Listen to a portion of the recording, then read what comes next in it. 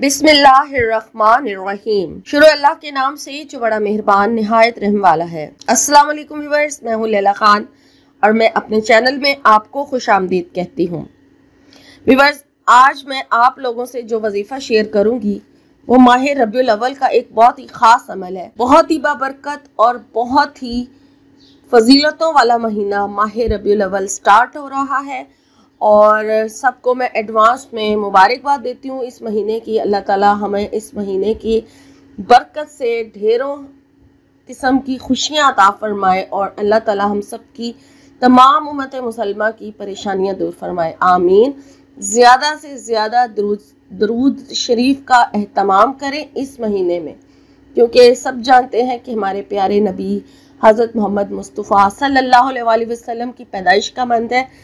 ज़्यादा से ज़्यादा दरूद सलाम उन आप सल्लल्लाहु अलैहि वसल्लम पर भेजें और बरकतें समेटें। और इस महीने में खूब अल्लाह ताला की इबादत करें, नबी पाक वसल्लम पे दरूद भेजें और अपने लिए ढेर सारी हाजात जो है अल्लाह ताला से तलब करें। तो आज का जो वजीफ़ा मैं आपसे शेयर कर रही हूँ, वो भी इसी महीने में करने वाला अमल है ख़ास।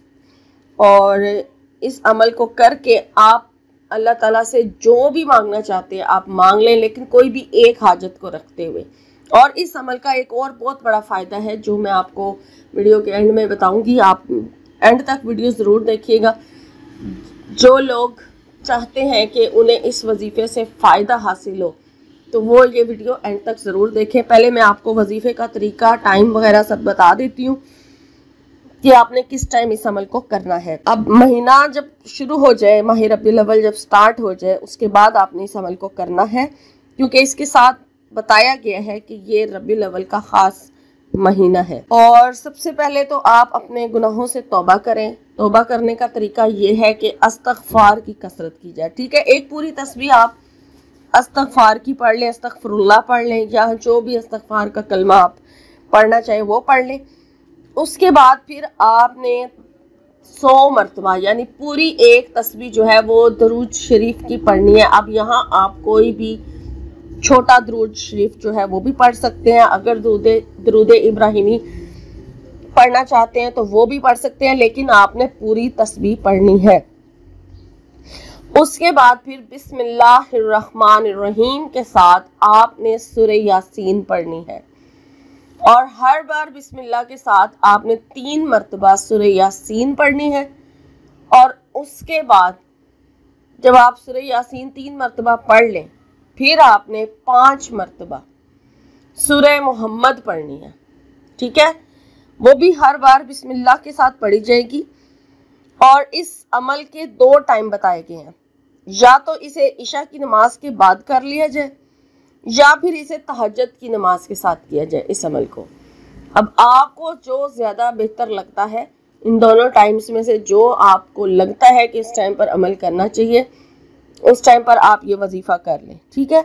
या तहजद के बाद कर लें, या फिर ईशा के बाद। ये दोनों टाइम है इसके, आप किसी टाइम भी कर सकते हैं। और इसका इससे आप जो भी अल्लाह ताला से मांगना चाहें, आप मांग सकते हैं। इस अमल की मुद्दत जो है वो नहीं दी गई। बस ये बताया गया कि रबी अव्वल में करने का वजीफ़ा है और आप इसको तीन दिन करें, ग्यारह दिन करें या फिर ज़्यादा करना चाहें, डेली करना चाहें। सुर यासीन तो वैसे भी, कई लोग तो वैसे भी रूटीन में पढ़ते होंगे। तो सुर मोहम्मद है सुर मोहम्मद है, इसके साथ वो पढ़नी है लाजमी। ठीक है, ये ख़ास वजीफ़ा है। आप इसे जब तक मर्ज़ी जारी रखना चाहे रखते हैं और जो हाजत अल्लाह ताला से आप इस वजीफे को करके मांगना चाहते हैं, वो मांग लें। और जो इसका फ़ायदा मैंने आपसे शेयर करना था, वो ये है कि जो ये वजीफ़ा करेगा, रोज़ाना करेगा, उसे ख्वाब में नबी पाक सल्लल्लाहु अलैहि वसल्लम की ज़ियारत का शर्फ हासिल होगा। जो पूरी मोहब्बत और लगन के साथ इस वजीफ़े को करेगा इन ताला वो ख्वाब में आका दो जहान हज़रत मोहम्मद मुस्तफ़ा सल्लल्लाहु अलैहि वसल्लम की ज़ियारत जो है उसका शर्फ हासिल करेगा। इन आमीन।